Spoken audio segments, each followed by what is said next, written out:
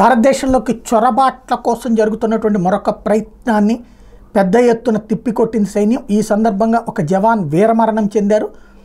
జమ్మూ కాశ్మీర్ నియంత్రణ రేఖ వెంబడి పాక్ నుంచి మన భూభాగంలోకి చొరబడేందుకు ఉగ్రవాదులు చేసిన ప్రయత్నాన్ని భద్రతా బలగాలు తిప్పికొట్టే ఈ సందర్భంగా జరిగిన ఎదురుకాల్పులో జవాన్ ప్రాణాలు కోల్పోయారు. పూంచ్ జిల్లాలోని బట్టాల్ సెక్టార్లో మంగళవారం వేకువజామున మూడు గంటల టైంలో ఈ ఘటన చోటు చేసుకుంది. లాన్స్ నాయక్ సుభాష్ కుమార్ తుదిశ్వాస విడిచారు. అయితే ఆ ఆగ్రహంతో పెద్ద ఎత్తున యుద్ధం చేశారు. మన సైన్యం కాల్పులతో ధీటుగా బదిలిచ్చారు. దాంతో ఉగ్రవాదులు పెద్ద ఎత్తు నష్టపోయారు. ఎంతమంది చనిపోయారో తెలియదు ఆ మృతదేహాల్ని లేదా పడిపోయి ఉన్నటువంటి వాళ్ళని వెనక్కి పట్టుకుని తీసుకుంటూ వెళ్ళిపోయారు. వాళ్ళు పాక్ భూభాగంలోకి వెనక్కి వెళ్ళిపోయారు. తద్వారా ఒక చొరబాటుని కట్టడి చేయగలిగారు.